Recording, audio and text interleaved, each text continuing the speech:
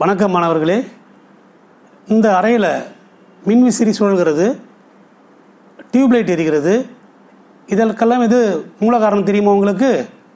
இதற்கு மின்சாரம் தான் மூல காரணம். இந்த மின்சாரம் எந்தெந்த வகையில் தயாரிக்கப்படுகிறது? நீர் மின்சாரம் தயாரிக்கப்படுகிறது அனல் மின்சாரம் தயாரிக்கப்படுகிறது அணுவிலிருந்து மின்சாரம் தயாரிக்கப்படுகிறது இல்லையா? அதிலிருந்து தயாரிக்கப்படுகின்ற மின்சாரம் தான் இந்த மின்கருவிகளை இயக்குகிறது. சரி இது இல்லாமல் வேறு பல பொருளிலிருந்து மின்சாரம் தயாரிக்கப்படுகிறது. பேட்டரி என்று சொல்வார்கள் அல்லவா? அதிலிருந்து மின்சாரம் தயாரிக்கப்படுகிறது. நான் இன்று உங்களுக்கு இதோ இருக்கிறது அல்லவா? இது என்ன? இது ஒரு எலுமிச்சம்பழம். இந்த எலுமிச்சம்பழத்திலிருந்து எவ்வாறு மின்சாரத்தை தயாரிப்பது என்று உங்களுக்கு இன்று சொல்லிக் கொடுக்க போகிறேன். இது ஒரு எலுமிச்சம்பழத்தை எடுத்துக்கொள்ள வேண்டும். இந்த எலுமிச்சம்பழத்திலே இது இருக்கிறது அல்லவா? இது ஒரு காப்பர் கம்பி தாமிர கம்பி.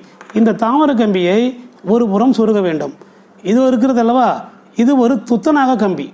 இந்த துத்தநாக கம்பியை மறுபுறம் அதே எலுமிச்சம்பழத்தில் வேறொரு பக்கத்தில் சொருக வேண்டும். இதற்கு அலிகேட்டர் கிளிப்புகள் என்று பெயர். அதாவது இணைப்பு கிளிப்புகள். இந்த மின் வாய்களை இணைக்கின்ற கிளிப்புகள். இந்த தாமிர கம்பியானது நேர்மின்வாயாகவும் இந்த துத்தநாக தகடானது எதிர்மின்வாயாகவும் செயல்படுகின்றது. சரி இப்பொழுது ஒரு எலுமிச்சம்பழத்திலிருந்து மற்றொரு எலுமிச்சம்பழத்திற்கு நாம் என்ன செய்ய போகிறோம்? ஒரு தொடர் இணைப்பை கொடுக்க போகிறோம். அதாவது இந்த கிளிப்பிலிருந்து நேர்மின் வாயிலிருந்து இதில் மீண்டும் ஒரு துத்தநாக தகட்டையும் ஒரு புறத்தில் ஒரு காப்பர் கம்பியும் சொருகுகிறோம் இப்பொழுது இந்த கிளிப்பை கொண்டு இதை இணைக்கின்றோம். இதிலிருந்து ஒரு கிளிப்பு இந்த நேர்மின்வாயிலிருந்து இந்த எதிர்மின்வாய்க்கு மறுபடியும் ஒரு கிளிப்பின் மூலம் இணைப்பு கொடுக்கிறோம். இப்பொழுது இந்த மின்சுற்றில் இறுதியில் என்ன இருக்கிறது என்றால் ஒரு நேர்மின்வாயும் இந்த எலுமிச்சம்பழத்திலிருந்து ஒரு எதிர்மின்வாயும் இருக்கிறது.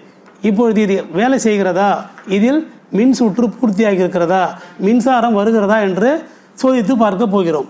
இது ஒரு மல்டிமீட்டர். இந்த மல்டிமீட்டரை இணைக்கப் போகிறேன். இந்த நேர்மின்வாயை நேர்மின்வாயில் இணைக்கிறேன். எதிர்மின்வாயில் இந்த சிவப்பு வண்ண கம்பியை இணைக்கிறேன். இப்பொழுது நீங்கள் பார்த்தீர்கள் என்றால் இது உங்களுக்கு தெரியும் இந்த மல்டிமீட்டரிலே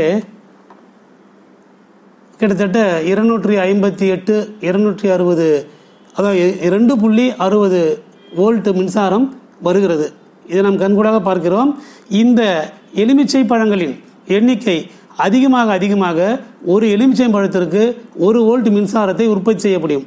இதுவே பனிரெண்டு எலுமிச்சம்பழங்கள் தொடர் இணைப்பில் இணைக்கப்பட்டால் பனிரெண்டு வோல்ட் வரும். இருபது எலுமிச்சம்பழங்கள் தொடர் இணைப்பில் இணைக்கப்பட்டால் இருபது வோல்ட் வரும். இதற்கு இன்னும் சில சர்க்கியூட்டுகளை இணைத்தால் இந்த வோல்டேஜையும் ஆம்பியரையும் அதிகப்படுத்த முடியும். இதை மாணவர்களாகி நீங்கள் ஆய்வு செய்து பார்க்க வேண்டும். சரி இப்பொழுது இது ஒரு மின் விளக்கை எரிய வைக்கிறதா என்று பார்க்கலாம். ஒரு மின் விளக்கை எரிய வைக்கிறதா என்று பார்க்கலாம். இப்போது நான் ஒரு சிறு மின்சார பல்பை எடுத்துக்கொள்கிறேன். இந்த மின்சார பல்பை இந்த கிளிப்புகளோடு இணைக்கிறேன்.